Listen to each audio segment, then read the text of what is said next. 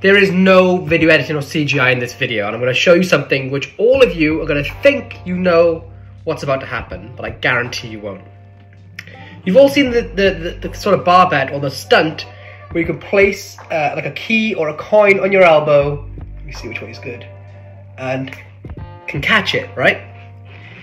Watch a lot closer.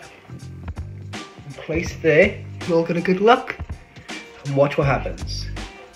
Three, like that. becomes a dice.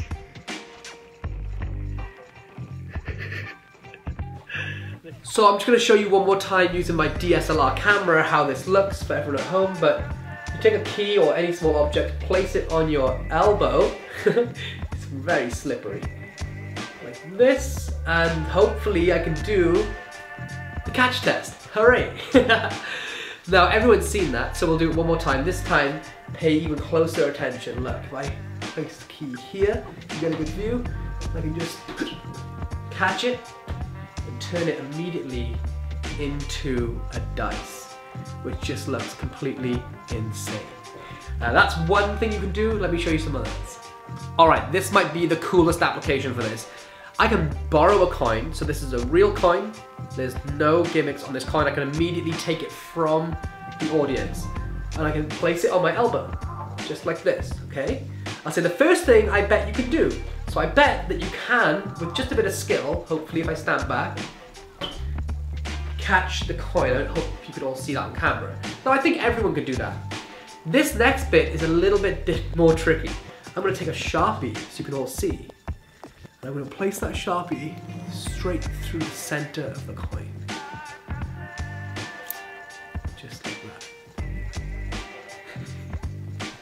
So another thing you can do is to take a coin like you would with a regular proposition bet for this and place it onto your elbow, just like that.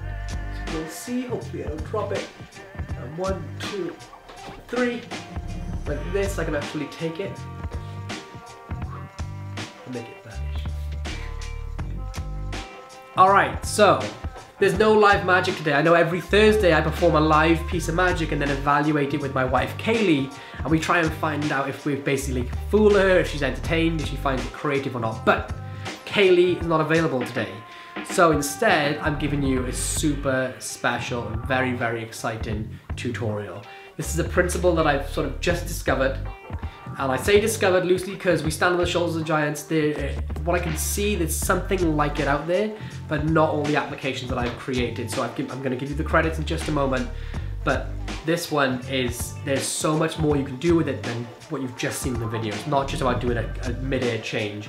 You can do vanishes, switches, and there's even a way, if you do it all correctly, you can end absolutely 100% clean. You can even be examined by a scientist. Like it's that cool. So, before we dive into it, all I'm asking you to do is one thing, because you're gonna learn all this completely for free, as we do every single week just hit that subscribe button. That's all you need to do. Hit the subscribe button and settle in, grab yourself some coins, cards, keys, dice, whatever you want to play with, and get ready to learn this super exciting principle.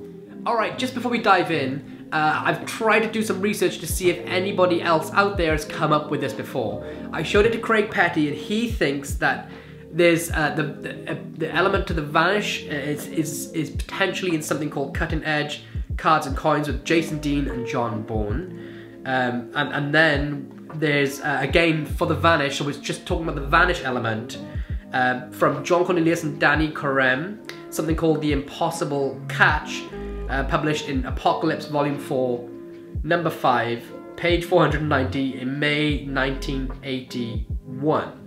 Uh, and what I can find, because I don't have, I can't get hold of the book, is that the coins vanish during an arm elbow catch stunt. So that's the sort of credits out there. Craig assures me that uh, from from his memory that the, that it's uh, the catch element is only somewhat similar. What I'm doing is something completely different, which is um, to do all these like startling changes and switches. So uh, that, that's sort of where the history lies. And, and for you guys that potentially new to magic, it's really important that you do your history, your research, and your crediting. But I've shown this to a few of the magicians, and uh, all of them, uh, the only thing they can say that there might be something similar out there is just the, the, the vanished part of this, um, but to introduce all these switches and catches is the part that I, at the minute, I cannot find anything out there. But as always, there's nothing new under the sun in magic. Everything has been created before, uh, whether it's 10 years, 2 years, or 100 years old. So I, I, I, I am sure somebody will pop up in the comments and say that it's there. I've done my research, I can't find anything just like what I'm doing, so um, I apologize in advance if there is. But I know you all want to learn how to do this, and the secret is uh, pretty devious. It's, I think it's, uh, apart from needing one thing, it's super practical, uh, but you can keep this on you anywhere at all times as a great everyday carry. So, I'm gonna dive into the secret, and it pains me to give the secret, because once I show you it, it's pretty much explained, but there are some nuances to this. So, what you're gonna need is to basically start off, the first part of this is a coin. So as we can see, a coin here, and on the back of the coin, I have placed some double stick tape, just a line of double stick tape right there. So all I need to do in performance is take this coin, um, place it on my elbow, make sure it's stuck down tight, and you don't want to drop your hand and expose that it's that it's gonna slide off. So you want to keep your elbow flat, and that's essentially the first part. But there is a lot more, or at least 50% more going on. Now, just to get the catch down, the first thing I do is that if I've got the double stick tape on the back of the coin, I want to show that it's not a sticky coin. So the first thing I do is to do the catch, but I just don't put pressure. I place the coin down, I don't show the sticky side, I just place it down gently, and then I execute a real coin catch, like that. Oh, yes, did it. Now that tells them more than one thing. It tells them that it, it, conditions them to see this motion, so they get used to seeing this. That means that later on when they see it again, they will comfortably understand what's happening without being suspicious. So they're down the garden path, they're down the rabbit hole. And then the second thing is that this tells them that the coin's not sticky, even though it absolutely is. So now the second time, they they they uh, they just expect what's coming, right? So now I can place it on my elbow and stick it down tough, like that you will see it. And if it, when it comes to just the vanish portion, I'm gonna just execute the same thing, remember to keep my elbow with the coins pointed to the ground, and now I can make it vanish. The only thing I need to do is make sure I don't expose this. So I did it over here on camera because of the angles, but in the real world I'd be forward towards you. And this is a great display. Now, when you're actually performing this, you wanna leave this as long as possible. If you're just gonna do the vanish, like that, leave this moment as long as possible. And if you can, pretend to false transfer the coin as well, because now they're really solid. You can drop this arm and you can be as clean as a whistle. And it's a great little vanish. Now you can throw this vanish into other routines, such as if you're doing, for example, a three coin vanish and you and you've got a coin uh, like a triad coin by Joshua Jay from Vanishing Inc, which allows you to vanish three coins and, and the work basically ends up in one coin, so there's no ditches. You could you could use this pattern of now. You may think I'm using skill, and some magicians do use skill to, to vanish coins. Uh, one piece of skill is to do a coin catch, right? That that's skill, but I want to show you magic, and then you can go into doing this and be like, watch, this is the difference between skill and magic. That looks like skill, but this is magic. And now you've ended that routine super clean, and no one expects the coin to be there. But there's rules in magic.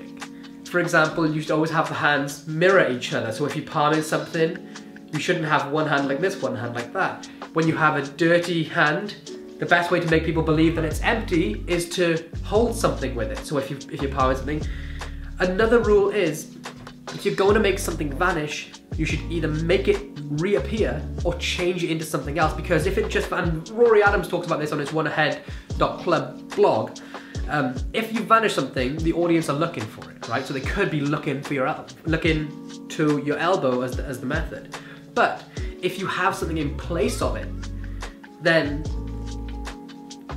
then they then they're only looking at, at the at the evidence that's left, and, and it, it takes their attention and directs it somewhere else. It's like misdirection for them. So with that in mind, here's how I do the switch. So in the video, I wanted to be ultra clean, and this can be done in the real world on the fly.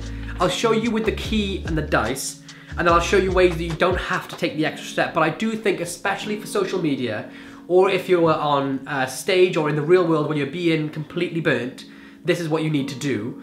However, there's ways around it. So I'm gonna grab a key in the dice from here. Hello, I'm back. And I'll show you what I did. Now this is, this feels kind of stupid, um, but in the real world you can actually get it. This is not a ridiculous thing. I stuck the dice to the back of my neck. So I don't know if you can see me, I can't tell if you can see me, but I literally took some double stick tape and I stuck the dice to the back of my neck. So I've got double stick tape on it right there, you'll see, and I literally stuck it to my neck, like that, okay? So this might fall off in a minute, so I'll put some extra tape on it just for now, just to be doubly certain. So I'll take some extra tape, just make sure that's fresh, like that, boom. So this gets stuck to the back of my neck, and the key I just proceed with as normal. Now I've got some double stick tape on the key. Um, you can also just put some double stick tape on your elbow before you begin so that you can borrow the object, all right? So, the reason I stick it to my neck and not just palm it in is because I want to have this appearance of being completely open and clean and never go into my pockets, especially if I'm being burnt on camera or in person. So, what you can do is you can take out your dice or whatever, whatever object you want to load from out of your pocket, put it into a finger palm, very loose one, and just act like you're scratching your neck casually. It's very, very normal thing to do, or even just stretching, whatever, whatever suits like your body and your movements. And I just stick it to my neck. Now I stick it to the side of my neck, not like directly on my spine, just because I feel, and it's like slightly above my shoulder blade line, so that it like it sits on the angle here, not like wanting to fall down and I really make sure it's pushed in hard. So I don't know if you can see, but it looks like a giant spot. now I do the key, the, the, the, catch, right? And I make sure I do it so it's not stuck down, so they go and they see me catch it like normal. Then I take it and stick it to my elbow the second time, and as I'm doing that, and look how clean this whole display is. I'm here, my hands are open, empty the entire way through. I've conditioned them, all this is normal. I reach my hand back, which is completely normal to what they're expecting. And hopefully you can see, as I reach my hand back, I just take the dice. And it's very sticky right now, but I just unstick it off my head, right? And I stick the coin here. Now I've just got this dice in my fingers. I push down to make sure that it can stick to my arm. I've got the dice in finger palm, and I just do this. And immediately changed it to a dice. Because they're all looking at the dice, nobody's looking at the coin on your arm, which is insane. Now I do have double stick tape left on this dice, so you, you don't really want to examine without taking it off. You can just put double stick tape on the back of your neck um, and have the, and make sure that's stickier. It's more adhesive to your neck than to the dice, so that you just take the dice off and make sure it it leaves the, the sellotape there or the double stick tape there. But that's really secret, and it's so devious. I come up, I got very empty hands, boom, catch, and there we go, it's changed into a dice, and it's such a beautiful moment. And there's so much fun stuff that you can do with this. For example, you could have a coin become a wrapped coin. So it could be wrapped in tinfoil. The thing that I was going to do was put a karate coin on my finger. So I put a, a, a quarter here, and, poof, and I karate coin it, and I'm completely clean. So I go like that and it's it's cleanly on my finger but I didn't have a karate coin or the means to make one on the fly. Um, you, could, you could do a bunch of different stuff. You could, you could casually switch a coin one of those chocolate coin gimmicks where you can do the bite out.